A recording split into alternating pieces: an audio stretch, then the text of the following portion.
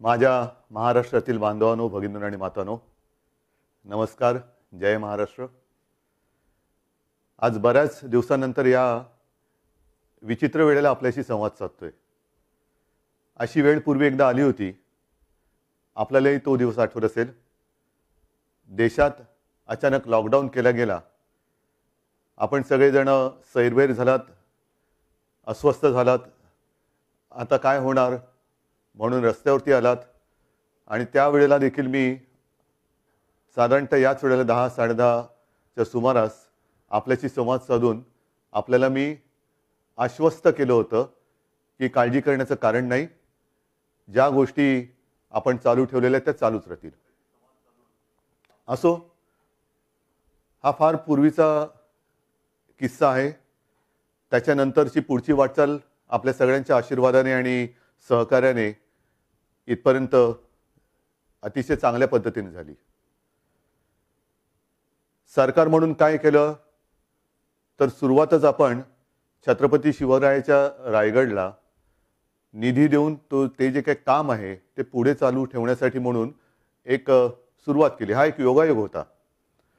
नंतर जे इतकी वर्ष आम्ही बोलत होतो शेतकऱ्यांना कर्जमुक्त कर्जमुक्त त्या माझ्या बळीराजाला कर्जमुक्त केलं. आता सुद्धा पीक विमा योजनेची जे बीड पॅटर्न आहे ते सुद्धा आपण करून घेतले. या सगळ्या गोष्टी मी तुम्हाला का सांगतोय? की साधारणतः ह्या सगळ्या धबडग्यामध्ये आपण विसरणारे तर तसे नाहीच आहात पण थोड्याशा गोष्टी बाजूला पडतात. आज सुद्धा मंत्रिमंडळाची बैठक झाली आणि मला विशेष समाधान आहे. एक आयुष्य सार्थकी लागलं तसं एक तशी एक माझी भावना आहे. ती म्हणजे स्वतः शिवसेना प्रमुखांनी जे नाव शहराला ठेवलं औरंगाबादला संभाजीनगर त्या संभाजीनगर जिल्ह्याला संभाजीनगर औरंगाबाद जिल्ह्याला संभाजीनगर हे नाव आज आपण दिलेलं आहे. त्याचबरोबरीने उस्मानाबादला धाराशिव हे नाव दिलेलं आहे. तसंच जिथे मी लहानाचा मोठा झालो आणि आता तर मी मुख्यमंत्री जे सरकारी कर्मचारी अहोरात्र मेहनत करतात काम करतात त्यांना वांद्र्यामध्येच वांद्रे वसाहत जी आहे तिथेच त्यांचं हक्काचं घर मिळावं म्हणून भूखंडसुद्धा आज मंजूर केलेले आहे आपण. अशा अनेक गोष्टी आपण करत आलेलो आहोत. पण म्हणतात ना की एखादी गोष्ट चांगली चालू असली तर त्याला दृष्ट लागते. आता कोणाची दृष्ट लागली हे आपण जाणत जाणताच. पण आज मला विशेषतः शरद पवार साहेब आणि सोनियाजी आणि त्याचबरोबर काँग्रेस आणि राष्ट्रवादी यातील सर्व माझ्या सहकाऱ्यांना खास धन्यवाद द्यायचे आहेत. आज सुद्धा मला आनंद एका गोष्टीचा झाला त्या नामांतराचा मी तुम्हाला सांगितलं.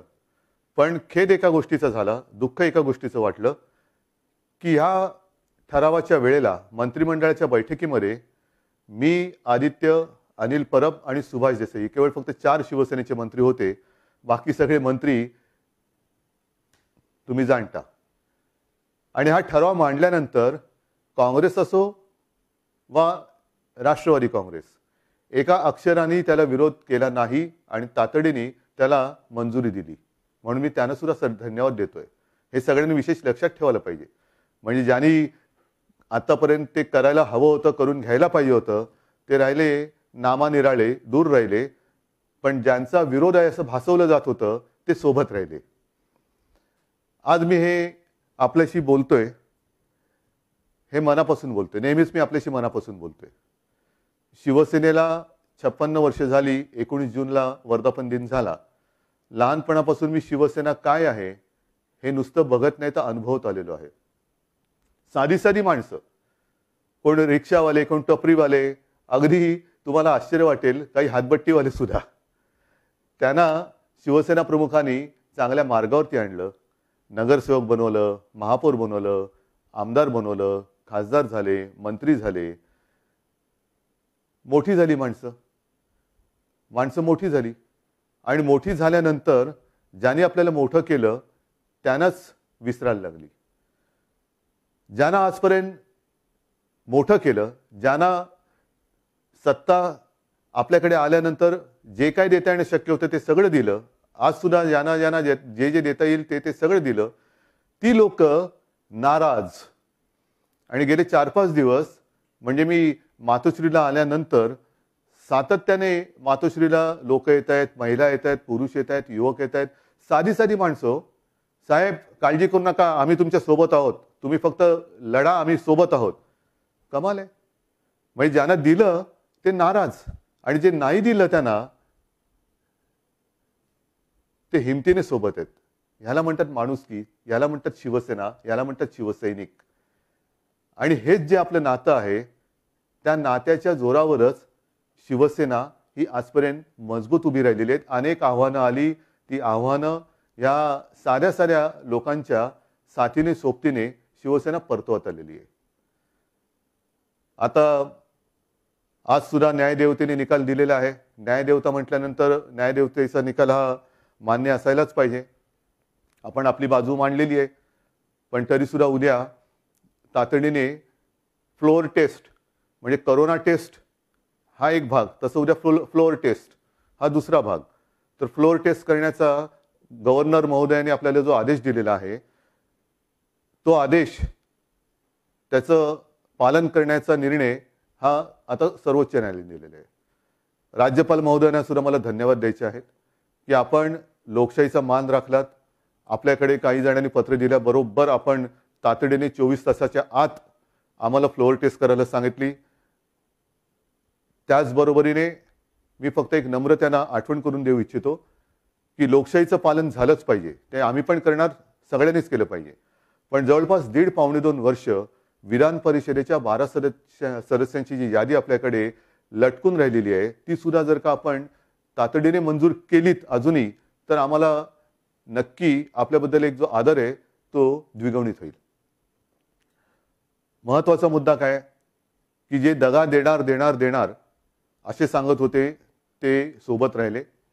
आज सुद्धा मंत्रिमंडळाची बैठक झाल्यानंतर अशोकराव मला म्हणाले की मुख्यमंत्री महोदय आपल्या लोकांचा जर महाविकास आघाडीवरती म्हणजे काँग्रेस राष्ट्रवादीवरती राग असेल तर आम्ही बाहेर पडतो बाहेरून पाठिंबा देतो. पण त्यांना म्हणतो तुम्ही या असं वेड्यासारखं वागू नका. काल सुद्धा मी आवाहन केलेलं आहे. की काल मी आवाहन केलं काल प्रत्यक्ष मी स्वतः बोललो नाही पण मी प्रेस स्टेटमेंट दिलं की ठीक आहे तुमच्या सगळ्यांची म्हणजे जे काही नाराज लोक आहेत तुमची नाराजी नेमकी आहे तरी कोणावर? माझ्यावरती आहे काँग्रेसवरती आहे राष्ट्रवादीवरती आहे. आज नामांतर केल्यानंतर सुद्धा शिवसेनेने हिंदुत्व सोडलं असं तुम्हाला वाटत असेल तर याच्या पलीकडे मी काय करू? पण आपली जी काय नाराजी आहे ती सुरतला जाऊन सांगण्यापेक्षा गुवाहाटीला जाऊन सांगण्यापेक्षा मला स्वतःच्या हक्काच्या घरात वर्षावरती किंवा मातोश्री मातोश्रीवरती येऊन का नाही सांगितलं की आम्हाला सगळ्यांना बोलायचंय. मी बोललो असतो. आणि कालही सांगितलं आजही सांगतोय की तुमच्या भावनांचा नेहमी मी आदर करत आलेलो आहे. आज सुद्धा मी तुमच्या भावनांचा आदर करू इच्छितो पण काय आहे ते एकदा समोर येऊन बोला. समोर येऊन बोला. मग असं मी तुमच्याशी बोलणार तुम्ही माझ्याशी तर प्रेसमधनं बोलणार मी काय बोलल्यानंतर त्याला तुम्ही प्रत्युत्तर देणार मला या भानगडीत पडायचं नाही. कारण एकदा मी तुम्हाला आणि शिवसैनिकांनी तुम्हाला आपलं मानलं होतं मी म्हणेन आता. त्यांच्याशी वाद आणि लढाया काय करत बसायच्या? किती करायच्या? आज सुद्धा मला मुंबईमध्ये जी काही बातमी आपलं आपण सगळे बघतायत मुंबईमध्ये आता बंदोबस्त वाढवत आहेत केंद्राच्या सूचनेवरून. अनेक शिवसैनिकांना स्थानबद्ध म्हणजे घरातल्या घरात राहा बाहेर पडू नका अशा नोटिसी जात आहेत. केंद्रीय राखीव दल मुंबईमध्ये दाखल होत आहे मिलिटरी सुद्धा उद्या येईल. म्हणजे चीन बॉर्डरवरचं संरक्षण सुद्धा कदाचित काढून मुंबईमध्ये आणण्यात येईल. कोणासाठी? कशासाठी? म्हणजे मला खरंच लाज वाटते ज्या शिवसैनिकांनी ज्या ह्या सगळ्या आमदारांच्या विजयाचा गुलाल उधळला संपूर्ण रस्ते त्या गुलालाने बेहोशीने लाल झाले होते त्यांच्या रक्ताने उद्या मुंबईचे रस्ते तुम्ही लाल करणार आहात का? एवढी माणुसकी विसरलात? एवढं नातं तोडलत? मी आज सांगतो उद्या कोणी शिवसैनिकांनी यांच्या आधीमध्ये येऊ नका. येऊ द्या. कारण उद्या लोकशाहीचा पाळणा हलतोय नवीन. नवीन लोकशाही जन्माला येते. त्याचा पाळणा हलवतोय हलतोय. तर त्यांची जी काही सगळी नातेमंडळी आहेत पोलीस दलातील म्हणजे केंद्रीय राखीव दल असेल मिलिटरी असेल पॅरामिलिटरी फोर्स असेल आणखीन सुद्धा आजूबाजूच्या देशातनं काही सैन्य सैन्यबैन्य आणणार असतील तर आणू द्या. कारण जल्लोषात झाला पाहिजे लोकशाहीचा जन्म. लोकशाहीचा पाळणा हलताना जल्लोष झाला पाहिजे. सगळे कसे कुटुंबीय एकत्र पाहिजेत. तर कोणी शिवसैनिकांच्या शिवसैनिकांनी त्यांच्या रस्त्यात येऊ नये. आणि मी त्यांना सांगतोय की तुमच्यामध्ये मार्गामध्ये कोणी येणार नाही. तुम्ही या आणि घ्या शपथ. घ्या शपथ. उद्या फ्लोअर टेस्ट आहे. काय होणार? महाविकास आघाडीकडे शिवसेनेकडे किती आमदार आहेत? मग भाजपाकडे किती आहेत? आणखीन किती आहेत? कशाला ही डोक्याची डोकी फक्त मोजण्यासाठीच वापरायची का? का कामासाठी वापरायची? हे एक लोकशाहीचं दुर्दैव आहे की या लोकशाहीमध्ये फक्त डोक्याचा वापर हा मोजण्यासाठी होतो. कोणाकडे किती बहुमत आहे कोणाकडे किती संख्या आहे? मला त्याच्यामध्ये रस नाहीये. मी यापूर्वीच तुम्हाला सांगितलेलं आहे की माझ्या विरोधामध्ये कोण आहेत किती आहेत मला त्याच्यात अजिबात रस नाही. पण माझ्या विरोधात एक जरी माझा माणूस उभा राहिला तरी ते मला लज्जास्पद आहे. ठीक आहे? तुमची इच्छा ही प्रमाण. कारण का? तुमच्याकडे म्हणजे तुम्ही आता ज्यांच्यासोबत जाणार आहात ते सगळे एकत्र झालं तर कदाचित उद्या बहुमत सिद्ध कराल. मला तो खेळच खेळायचा नाहीये. मला खेळच खेळायचा नाहीये. मला प्रामाणिकपणाने असं वाटतं की ज्यांना शिवसेनेने राजकीय जन्म दिला शिवसेना प्रमुखांनी मोठं केलं साऱ्या साऱ्या शिवसैनिकांनी त्यांना मोठं केलं. त्या शिवसेना प्रमुखांच्या पुत्राला मुख्यमंत्री पदावरून खाली खेचण्याचं पुण्य यांच्या पदरात जर पडत असेल तर ते पुण्य त्यांच्या पदरात पडू द्या. मग त्यांच्या पदरात पुण्य पडत असेल तर यांच्यावरती विश्वास ठेवला हे पाप माझं आहे. हे पाप माझं आहे. आणि ते पाप त्या पापाची फळं ही अशी भोगावी लागत असतील तर त्याच्यात त्यांचा काय दोष आहे? पण उद्या ते अभिमानाने सांगतील की बघा शिवसेना प्रमुखाने आम्हाला इथपर्यंत आणलं पण आम्ही शिवसेना प्रमुखांच्या पुत्राला खाली उतरवला की नाही हे पुण्य घेऊन ते छाती पुढे काढून गावागावात फिरतील. हा त्यांचा आनंद आहे तो आपण हिसकावून घेऊ शकत नाही आणि हिसकावून घेऊ नये. ठीक आहे अशा गोष्टी होत असतात अशा गोष्टी जात असतात. मला मुख्यमंत्रीपद सोडण्याची खंत अजिबात नाहीये. कारण मुळामध्ये माझी तशी इच्छा होती नव्हती हे तुम्हाला माहिती आहे तुम्ही चांगलं ठाकरे कुटुंबियांना चांगलं ओळखता. आम्ही कुठेही हापापले होऊन जात नाही. आम्ही जे काय करतो ते साध्या साध्या शिवसैनिकासाठी मराठी माणसासाठी आणि होय हिंदूंसाठी आम्ही करतो. मग उगाच गोळ्याच्या ढेपेला मुंगळा चिपटून बसतो. तसं चिपटून बसणारा मी नाही. मी गेल्या बुधवारीच आपल्याला सगळ्यांना सांगून वर्षा हे निवासस्थान शासकीय निवासस्थान सोडलं. मातोश्री माझ्या मातोश्रीमध्ये आलो आपल्या मातोश्रीमध्ये आलो. आज मी आपल्या सगळ्यांच्या समोर मुख्यमंत्रीपदाचा देखील त्याग करत आहे. आजपर्यंत आपण सगळ्यांनी खूप प्रेम दिलं खूप आशीर्वाद दिले. ठीक आहे मी काही घाबरणारा नाही मी डरणारा नाही पण त्याच बरोबरीने कारण नसताना उद्या जे काही बंदोबस्तामध्ये शिवसैनिकाचं रक्त सांडेल त्या पापाचे धनी जे असतील त्यांना होऊ द्या मी नाही होणार. म्हणून मी शिवसैनिकांना सुद्धा सांगतोय की उद्या अजिबात मध्ये येऊ देऊ नका. त्यांचा आनंद त्यांना लुटू द्या त्यांचा गुलाल. त्यांचे त्या शिवसेनेला सत्तेवरून खाली खेचलं शिवसेना प्रमुखांच्या मुलाला मुख्यमंत्री पदावरून उतरवलं त्याचे पेढे त्यांना खाऊ द्या आणि त्यांना ज्यांना वाटायचे त्यांना वाटू द्या तो गोडवा त्यांना लख लाभो. मला तुमच्या प्रेमाचा गोडवा पाहिजे. मला तुमच्या आशीर्वादाचा गोडवा पाहिजे. हा कोणी हिरावून नाही घेऊ शकत. आज सुद्धा मी माझ्याकडे काही व्हिडिओ आले.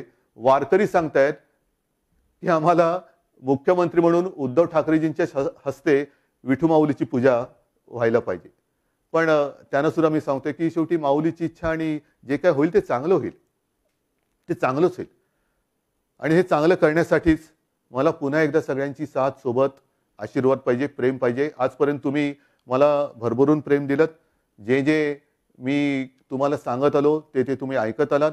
या सर्व काळामध्ये देशात ठिकठिकाणी दंगली झाल्या जातीय दंगली झाल्या पण महाराष्ट्रामध्ये दंगली झाल्या नाहीत ह्याचं कारण केवळ आणि केवळ तुम्ही समजदार माझी महाराष्ट्रातली जनता. आपण अगदी सी एन आर सीच्या वेळेला सुद्धा इतरत्र दंगली पेटल्या होत्या महाराष्ट्रामध्ये दंगल झाली नाही. मुस्लिम बांधव सुद्धा त्याच्यामध्ये आले होय जरूर उल्लेख केला पाहिजे. त्यांनी सुद्धा ऐकलं. त्यांनी सुद्धा आलं ऐकलं. हे सगळं चांगलं चालू असताना हे असं अनपेक्षित होतंय. मला विचारलं अनपेक्षित असं सगळं घडतंय. म्हटलं मी आलोच होतो अनपेक्षितपणाने. आता जातोय अनपेक्षितपणाने. जातो म्हणजे कुठे जात नाहीये. मी इकडेच राहणार आहे. पुन्हा मी शिवसेना भवनमध्ये बसायला सुरुवात करणार आहे. पुन्हा माझ्या शिवसैनिकांना भेटायला सुरुवात करणार आहे. आणि पुन्हा एकदा नवीन भरारी मारणारे सगळे जे काही तरुण तरुणी आणि माझ्या माता भगिनी आहेत त्यांना सोबत घेऊन एक नवीन शिवसेनेची वाटचाल नवीन म्हणजे शिवसेना तीच आहे. शिवसेना आपलीच आहे. शिवसेना कधीही आपल्यापासून कोणी हिरावून घेऊ शकत नाही. अजिबात नाही. ना शिवसेना हिरावून घेऊ शकत ना तुमच्यापासून आम्हाला ठाकरे कुटुंबियांना कोणी हिरावून घेऊ शकत. आपण इथेच राहणार आहोत आणि जसं मी माझ्या मुख्यमंत्रीपदाचा आज राजीनामा देतोय त्याचप्रमाणे मी माझ्या विधान परिषद सदस्यत्वाचा सुद्धा राजीनामा देतो आहे. कारण मी पुन्हा येईन असं बोललोच नव्हतो. तरीसुद्धा मी आलो होतो. जिथे मला जायचंच नव्हतं नव्हतं तिकडे मी गेलो होतो. आता मी आहे तो तुमचा आहे तुमच्यासोबत आहे. परत एकदा माझ्या सोबत असलेल्या सर्व सहकाऱ्यांचं म्हणजे जे मंत्रिमंडळ आहे त्यांचं काँग्रेस राष्ट्रवादीचे आमदार सगळे सहकारी आता सहकारी सुद्धा जिकडे फळं दिसतात तिकडे ते पलतात जाऊ द्या तो मानवी स्वभाव आहे. खास करून शासकीय यंत्रणेचं मग ते सगळे सचिव पोलीस यंत्रणा कलेक्टर सगळ्यांचंच मी मनापासून ऋण व्यक्त करतो. परत एकदा सगळ्यांना धन्यवाद देतो. जय हिंद जय महाराष्ट्र.